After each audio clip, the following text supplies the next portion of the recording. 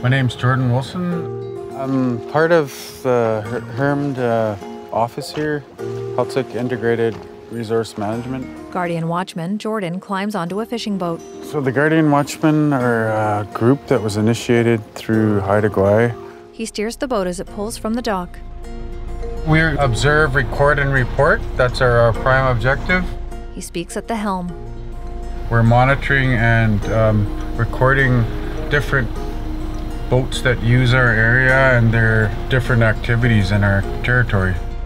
We bring back our information and it is shared either with our main office or other offices as well if it's of concern to other neighboring nations. The boat glides out into a channel. It's uh, uh, a lot of outdoor um, focused, um, you know, work. Uh, lots of first aid, lots of survival techniques, uh, lots of navigation, boat training. It's like we're resource people that like uh, get familiar with the, you know, the ocean and the resources. That's how the Guardians work. And this has been part of my life now for the last um, 10 years. Jordan guides the fishing boat between small forested islands.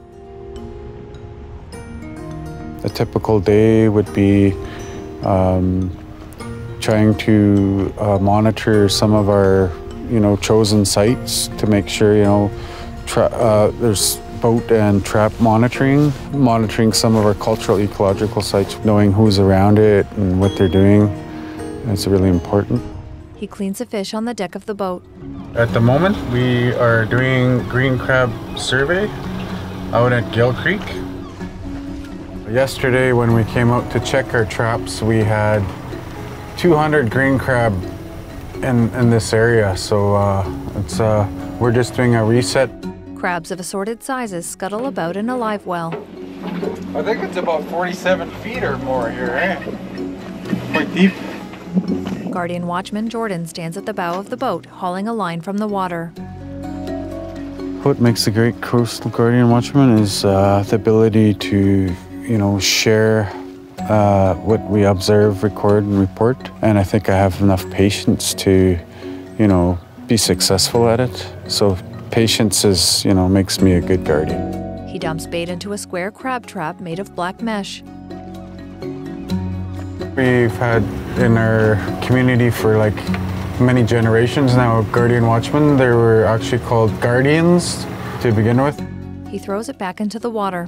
They looked after our salmon rivers, and um, it's always been a part of our, our uh, social community structure because it's very important to our communities. He feeds out the line as the trap sinks. It's really important that uh, we carry on tradition and protect our, our, not only our cultural sites but our, our rivers that you know our, and our spawning sites and clam beds and halibut grounds and as you know the list goes on. Viewed from high above, the boat appears tiny on the vast blue waters.